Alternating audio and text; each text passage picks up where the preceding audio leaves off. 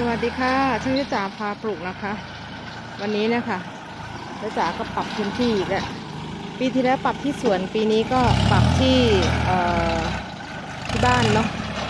ที่บ้านที่ยจ๋าเพราะว่ารื้อบ้านออกแล้วก็ปรับพื้นที่เตรียมนะคะ ถ้ายจ๋าเป็นไปได้เนาะ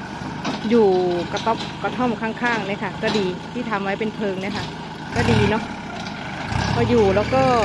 ตรงนี้ก็ทำเป็นแปลงผักไป ก็น่าจะดีเนาะพื้นที่ยะจ๋าเนี่ย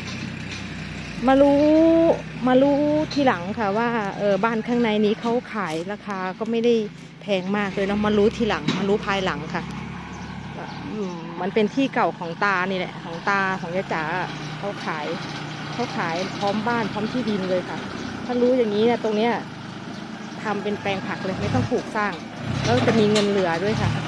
มีเงินเหลือจากตรงนั้นด้วย แล้วก็มีบ้านมีที่ใหม่ด้วยเนาะ